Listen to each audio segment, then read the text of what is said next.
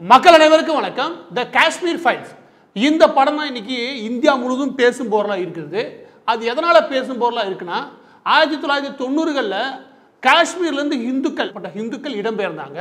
எதனாலனா Jammu and Kashmir liberation front போன்ற பிரிவினவாத இயக்கங்கள் ஆயுதம் ஏந்தி பிரிவினவாத இயக்கங்கள் பெரிய லெவலில் அடக்குமுறைகளை கட்டவிழ்த்து விட்ட நேரம். அந்த மாதிரி பிரிவினவாத இயக்கங்கள் ஜம்மு அண்ட் காஷ்மீர் முக்கியமாக காஷ்மீர் பகுதிகளில் இந்துக்களுக்கு எதிரான ஒரு பெரிய தாக்குதலை மேற்கொண்டிருந்தாங்க. இந்துக்கள் உடனடியாக இடம்பெற வேண்டிய கட்டாயத்தை அவங்க உருவாக்குனாங்க. இடம்பெயர்லைன்னா கற்பழிப்பு சம்பவங்கள் ஆரம்பித்து ஒட்டுமொத்தமாக வீடு சூறையாடுறது வரைக்கும் எல்லா விதமான சேட்டைகளையுமே இந்த மாதிரி இஸ்லாமிய அடிப்படைவாதிகள் இல்லாட்டி இஸ்லாமிய அடிப்படைவாதிகளால் இயக்கப்படக்கூடிய பிரிவினவாத கும்பல் அதையும் தாண்டி பாகிஸ்தான் ஆதரவோடு இயங்கக்கூடிய தீவிரவாத அமைப்புகள். அந்த நேரங்களில் பெரிய அட்டுழியங்களில் ஈடுபட்டிருந்தாங்க. அந்த நேரத்தில் சுமார் ஒரு லட்சத்து முப்பதாயிரத்துக்கும் மேற்பட்ட இந்துக்கள் அந்த காஷ்மீர்லேருந்து இடம்பெயர்ந்து ஜம்மு பிற மாநிலங்களுக்கு நகர ஆரம்பிக்கிறாங்க.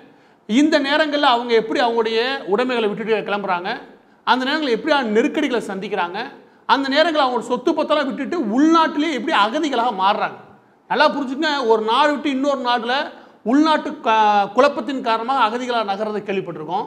ஆனால் சொந்த நாட்டிலே அகதிகளாக போகக்கூடிய ஒரு சூழல் ஆயிரத்தி தொள்ளாயிரத்தி தொண்ணூறுகளில் இந்த காஷ்மீரில் கூட இந்துக்களுக்கு ஏற்பட்டது. ரொம்ப வருஷத்துக்கு முன்னால் கிடையாது. ஆயிரத்தி தொள்ளாயிரத்தி தொண்ணூறுகளில் தான். இந்த காலகட்டத்தில் இந்துக்கள் சந்தித்த அந்த வழி இருக்கு இல்லையா?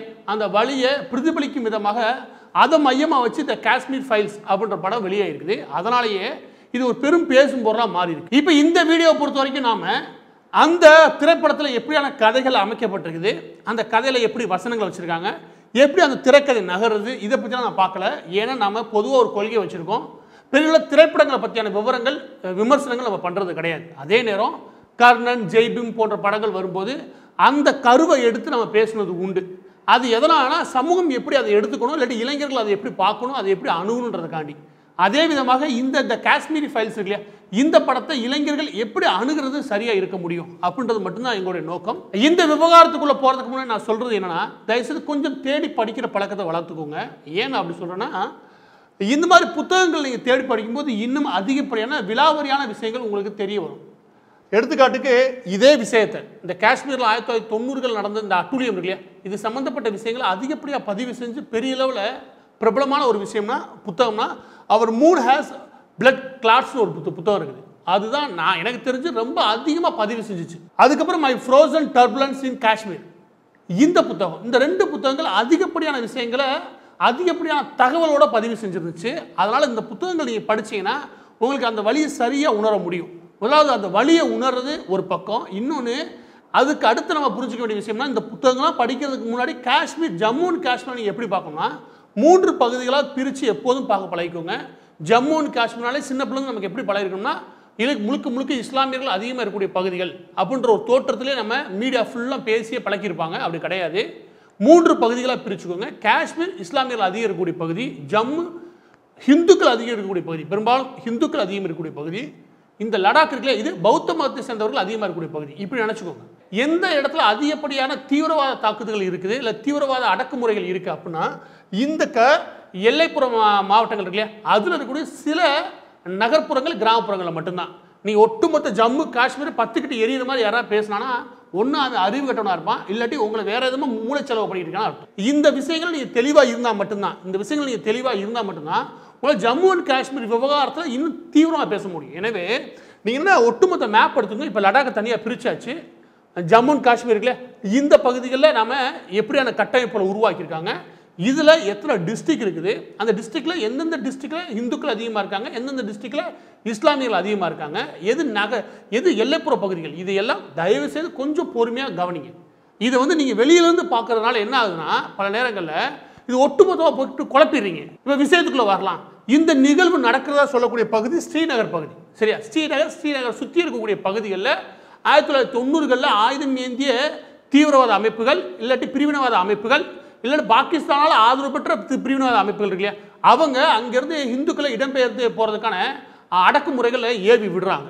ஏன்னா இது தனிப்பெரு த தனி நாடாக அறிவிக்கிடணும் இது இந்தியாவிலேருந்து விடுதலை பெறணும். அந்த மாதிரியான கருத்துருவாக்களை உருவாக்கி பின்னாடி அதை பாகிஸ்தானோட இணைச்சிக்கிறதுக்காக முயற்சியில் ஈடுபட்டுருந்தாங்க ஏன்னா பாகிஸ்தான் பிரிவினதுக்கு அப்புறம் இங்கே இந்துக்கள் பெரிய அளவில் இடம்பெயர்ந்தாங்களே.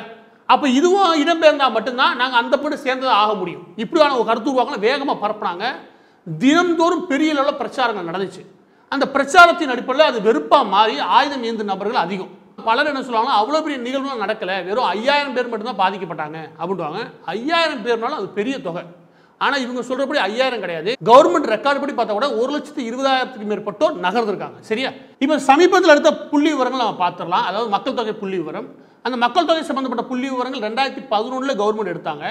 அதில் நமக்கு தெரியக்கூடிய தகவல் என்னன்னா இருபத்தெட்டு புள்ளி நாற்பத்தி நாலு சதவீதம் அளவுக்கு இருக்கு ஜம்மு அண்ட் காஷ்மீரில். ஒட்டுமொத்த ஜனத்தொகையில் இருபத்தெட்டு புள்ளி நாற்பத்தி நாலு சதவீதம் அளவுக்கு இந்துக்கள் இருக்காங்க.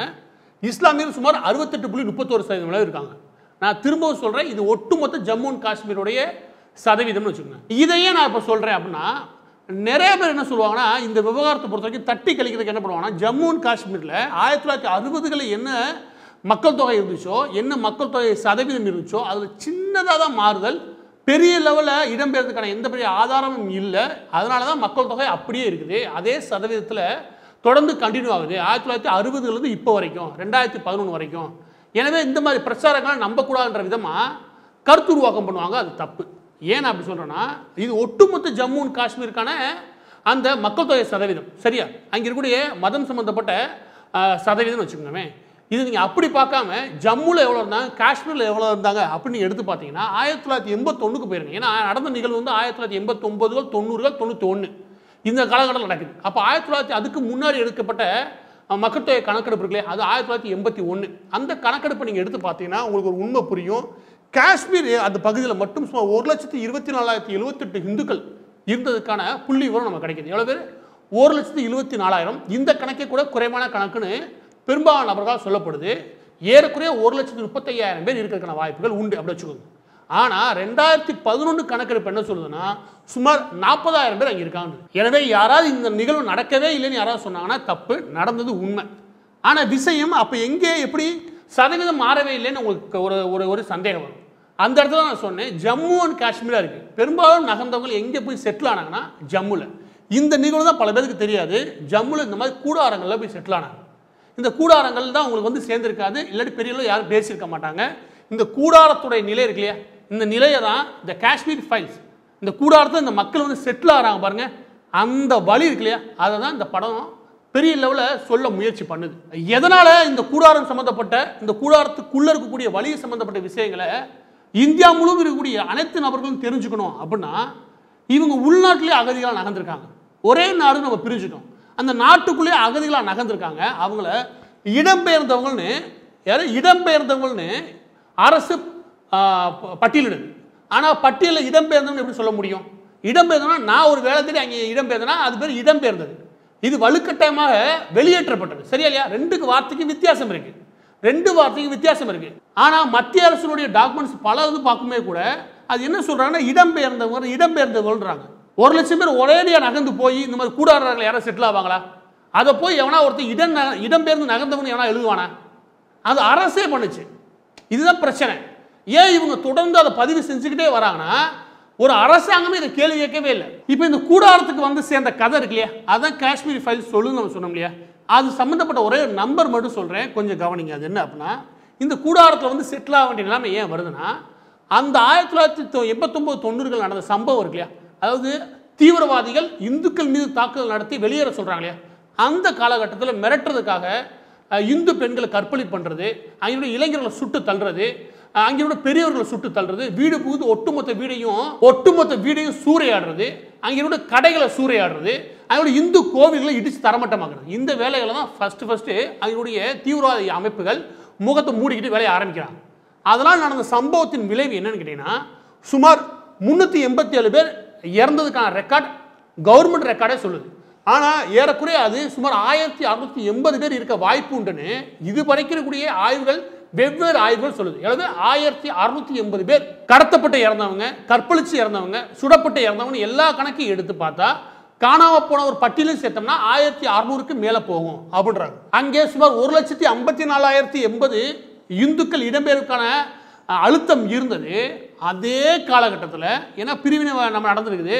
அதே காலகட்டத்தில் இந்திய அரசுக்கு இருந்த முக்கியமான கடமை என்னவாக இருந்ததுன்னா பாகிஸ்தான்லேருந்து இடம்பெயர்ந்து இங்கே வந்திருப்பாங்களே மூணு லட்சம் மூணு லட்சத்துக்கு மேற்பட்டோர். அந்த மூணு லட்சத்துக்கு மேற்பட்ட இந்து மற்றும் சீக்கியர்களுக்கான உடி குடியுரிமை இருக்கு இல்லையா? அதை கொடுக்க வேண்டிய தேவையும் இருந்துச்சு. அது எங்கே இருக்கு? காஷ்மீர்லேயே.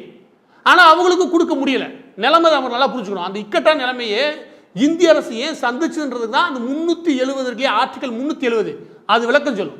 சுமார் மூணு மூணு லட்சம் பேர் பாகிஸ்தான்லேருந்து நம்ம நம்பி வெளியே கிளம்பி வந்தாங்க. ஏன்னா நம்ம பிரிச்சுட்டோம். அங்கே இடம்பெயர்ந்து வந்தவங்களுக்கு இங்கே குடியுரிமை கொடுக்க முடியாத நிலைமை உருவாக்குது. எது? ஆர்டிகல் முந்நூற்றி எழுபது அதை நீக்கிறதுக்கு அப்புறம் தான் அவங்களுக்கு குடியுரிமைன்னு ஒன்று கிடைக்கிறதுக்கான வாய்ப்பே உருவாயிருக்கு. ஒரு பக்கம் இது இன்னொன்று உள்ளூரில் இருந்த காஷ்மீரில் இருந்த இந்துக்களுமே இடம்பெற வேண்டிய சூழலை உருவாக்குறாங்க.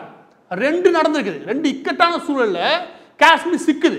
இந்துக்களுடைய கடைகள் சுமார் ஆயிரத்தி அறுநூறுக்கும் மேற்பட்ட கடைகள் சூறையாடப்பட்டது. அதில் இந்துக்கள் இந்து சம்மந்தப்பட்டவங்க நடத்தக்கூடிய பள்ளிக்கூடங்கள் சின்ன சின்ன விஷயம் இல்லையா? அது எழுநூத்தி ஐம்பதுக்கு ஐம்பத்தெட்டுக்கு மேற்பட்ட இடங்கள் முழுவதுமாக பறிச்சுட்டு வெளியே அனுப்பிவிட்டாங்க. உங்களுடைய கடைகள் பறிக்கப்பட்டது உங்களுடைய சொத்துக்கள் பறிச்சுடுவாங்க உங்கள் வீட்டையும் பறிச்சுடுவாங்க நீ கையில் துணியை கட்டி கிளம்பிடும். இதுதான் அன்னைக்கு நிலைமை. நம்ம எளிமையாக ஒரே வார்த்தையில் சொல்லிடுறோம். ஆனால் அன்றைய பொழுதுகளை ஒவ்வொரு இரவும் எப்படி கழிச்சிருக்கோம் அந்த அந்த ஒட்டுமொத்தமாக உரைய வைக்கும் பணிகளுக்கு இடையில இவ்வளோ பெரிய அட்டுழியங்களை ஒரு தீவிரவாத இயக்கங்கள் நடத்தும் போது அது பெரிய அளவு பாதுகாப்பு தன்னோட சொந்த நாட்டிலே கிடைக்காத போது அகதிகளாக தன் சொந்த நாட்டிலே இடம்பெயர்ந்து நகரும் போது ஒட்டுமொத்த சொத்தை விட்டுட்டு தன்னுடைய உடைமைகளை விட்டுட்டு எந்தவித பணமும் இனமும் எதுவுமே இல்லாமல் பிள்ளைகளை காப்பாற்றுறதுக்கான நைட்டில் நகர்ந்துருப்பாங்க இல்லையா? அந்த வழியை தான் இந்த ஒட்டுமொத்த நம்பர்ஸ் இருக்கு இல்லையா? அது என்ன வழி உங்களுக்கு சொல்லணுமோ அதை தான் இந்த காஷ்மீர் ஃபைல்ஸ் சொல்லுது. சொல்ல முயற்சி பண்ணியிருப்பாங்க இந்த வரலாறுலாம் ஏன் தெரிஞ்சுக்கணும் அப்படின்னு கேட்டீங்கன்னா மீண்டும் அதே தான் உங்களுக்கு சொல்கிறேன் உங்களுக்கு காஷ்மீர்னு சொல்லணும்னு வச்சுக்கோங்க நீங்கள் நல்லா கவனிச்சிங்கன்னா கடந்த காலங்களில் இன்னைக்கு வரைக்கும் தமிழக மீடியா யாரை காட்டுவாங்கன்னா இந்த மூணு பேர் அதிகமாக காட்டியிருப்பாங்க. இந்த மூணு பேர் தான்.